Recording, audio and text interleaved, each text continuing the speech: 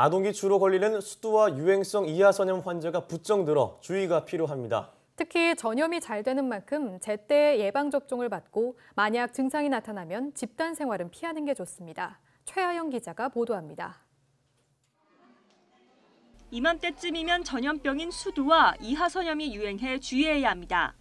지난해 수두와 유행성 이하선염 환자 모두 10월부터 증가해 11월과 12월에 가장 많았습니다. 특히 영유아나 초등학교 저학년 아동이 잘 걸리는데 방학이 끝나고 단체 생활을 하면서 전염 사례가 늘기 때문입니다. 수두는 약한 열과 함께 온몸에 발진성 수포가 생기고 유행성 이하 선염은 귀 및 침샘 부위가 붓고 통증이 나타나는 질환입니다.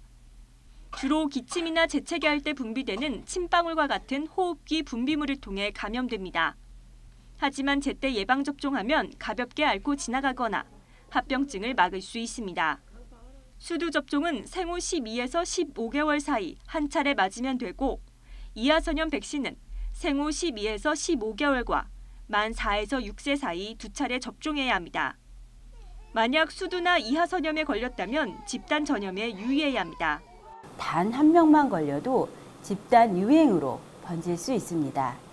따라서 환자로 진단되면 전염 기간 동안에는 학교 등 사람들이 많이 모이는 곳에는 가지 않아야 합니다. 수두 환자는 수포 자리에 딱지가 앉을 때까지, 이하 선염은 증상이 생기고 닷새 동안 등원이나 등교는 하지 않는 게 좋습니다.